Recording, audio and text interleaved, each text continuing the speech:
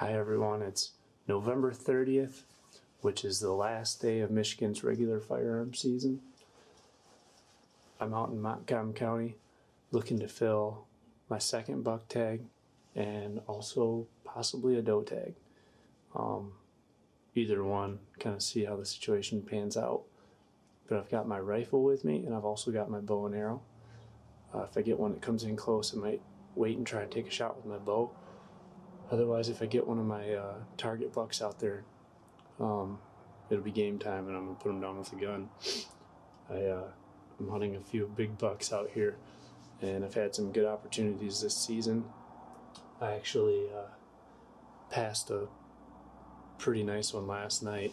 Um, still not sure it was the right decision, but I did make the decision to pass him. So he, uh, he was a big, tall, wide eight pointer with some broken tines. So I didn't pull the trigger on him. Uh, did flip the safety on and off a couple times last night because I was thinking about it. So really hoping that holding out for one last chance is going to pay off. So uh, I'm in here for the afternoon. It's kind of cold and breezy out, so I'm going to keep the windows shut and sealed up nice. Hopefully we get some action tonight though and we can seal this seal this story up right.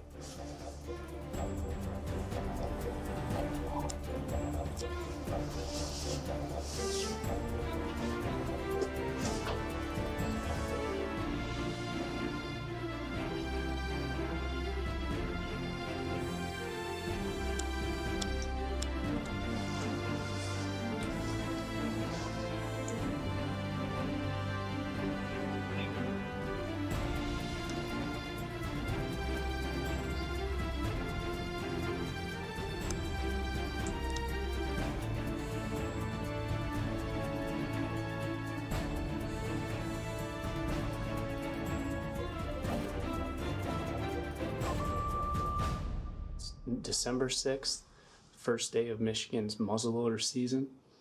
I'm in Montcalm County, which is in the CWD core area, which means that um, in this area you can use all regular firearms during muzzleloader season. I'm out here, uh, it's snow covered.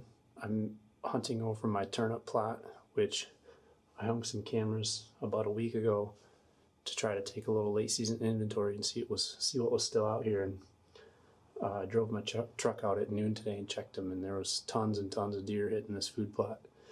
Uh, a whole bunch of bucks, and potentially a couple of them that I might shoot if they came in tonight. So I'm in here. It's about an hour and a half before dark, and gonna get settled in and hope to see some deer tonight. Maybe even uh, pull the trigger on one. We'll see.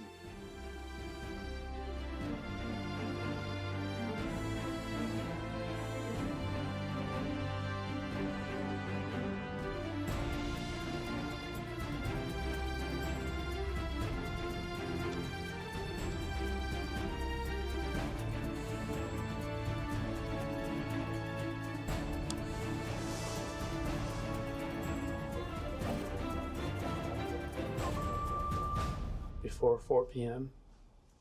I've already seen two bucks and a doe and just watched that little buck rubbing a pine tree.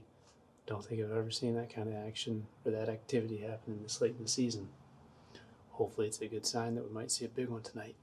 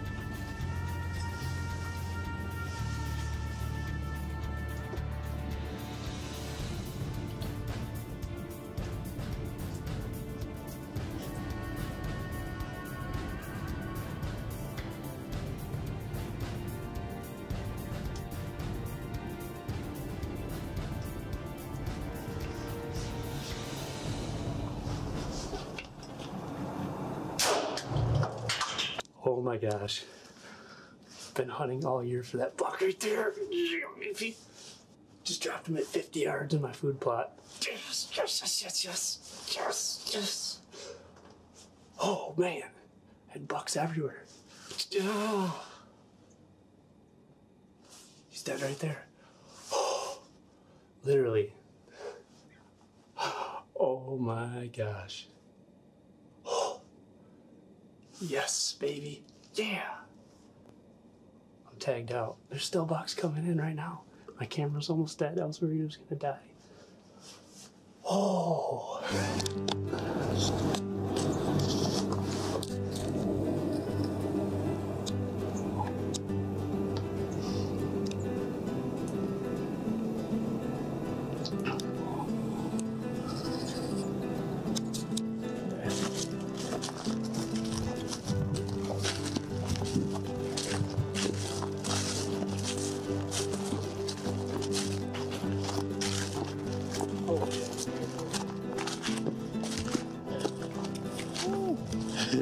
He's a tank.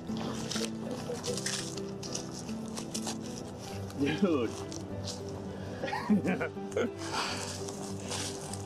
oh yeah, he broke off. Look, he had a drop, drop kicker right. Yeah. Look at that. Dude, that's awesome. The biggest Michigan buck in a while. Yeah. It's an expensive year. Yeah. Well, it took till what December? What is it? The tenth, 11th. eleventh.